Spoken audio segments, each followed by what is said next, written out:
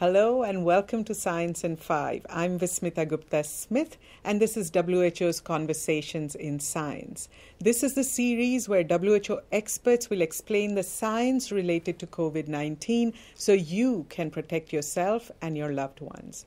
Today's expert is Dr. Maria Van Kerkhove. She's the technical lead for COVID 19. She's also an infectious disease epidemiologist. Welcome, Maria. Hi, Vismita. Thanks for having me. So, Maria, we're now in the seventh month since WHO declared this a public health emergency of international concern, and new evidence is coming in every day. So, tell us how this virus infects the human body. What is really important that we understand about transmission is how this virus transmits, meaning how does this virus move from one individual to another, when the virus transmits, meaning when does somebody who is infected with this virus transmit to others, and where is transmission taking place? What is the setting in which the virus is spreading? So, what we know about how it transmits. So, this is a respiratory pathogen, a respiratory virus, and most people who are infected with the SARS CoV 2 virus tend to have these respiratory symptoms.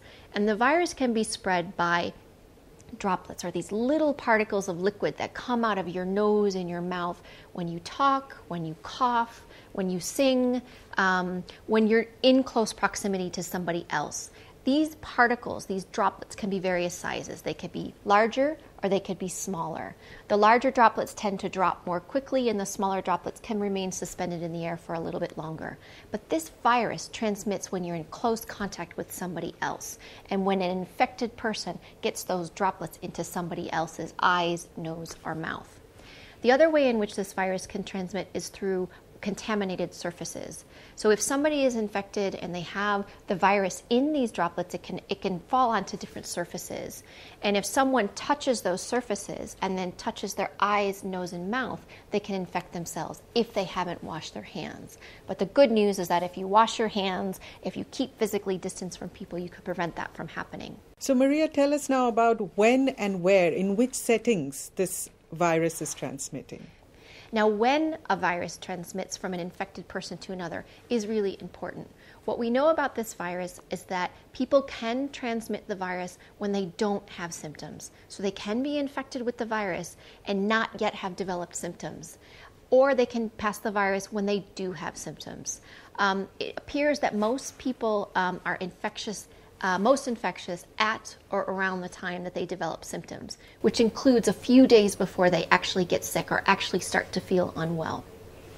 And then where the virus transmits. So the setting in which the virus spreads uh, is, a, is a combination of the intensity of the exposure somebody has, the duration of exposure they may have to an infected individual, and then the location of where that's taking place. So, for example, um, we know that in crowded settings, when people spend very close, uh, are in close proximity to one another, they spend long periods of time, they're in a room that's crowded, may not have good ventilation, that is a good example of where transmission can take place readily. Maria, we are also learning new information about how our body's immune system responds to this virus. Tell us what we know today about our immunity. Does it last, for instance? So, when an individual is infected with the SARS CoV 2 virus, they develop an immune response. It usually takes a week or two, and sometimes maybe longer, for the body to develop what we call antibodies. And these protect against reinfection. What we don't have a complete picture of yet is how strong that protection is, depending on the type of infection you have. If you have an asymptomatic infection, meaning you don't have any symptoms, if you have mild disease, if you have severe disease. It's not completely clear how strong the protection is and how long that protection lasts. But we do expect people who are infected with this virus to develop an immune response. Maria, we're also hearing about situations where people are reported to have been reinfected. What do we know about that? Yes, we are hearing reports that some people may have been reinfected with the SARS CoV 2 virus. But it's important to put this into context out of the more than 23 million cases that have occurred worldwide. We need to understand um, how often this is happening at a population level. When somebody develops an immune response, they have these antibodies that last for a certain amount of time. And we really need to understand how long those antibodies last. When those antibodies are present, that will protect against reinfection. Um, but if those antibodies antibodies wane over time, if they reduce over time, it may be possible that somebody could be reinfected again. And as new evidence comes in and we learn more, we will keep you informed about the science on uh, this issue. Maria, tell us about the mutations that this virus is going through. We hear about different strains. Is this something we are worried about? All virus change, or you can call it mutate. Uh, mutate sounds like a scarier word than change, but there are natural changes and natural mutations that happen with a virus as it circulates through a population.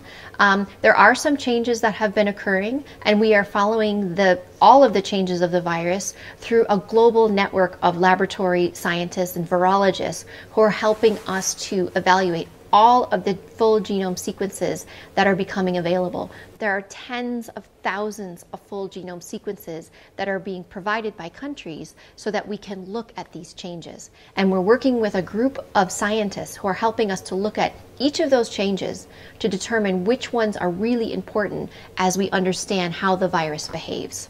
There you have it. That was Dr. Maria Van Kerkhove explaining the science of how SARS CoV 2 virus infects our body and how we react to this virus. Remember, we'll keep bringing you the science as we learn more. Until then, stay safe and stick with science.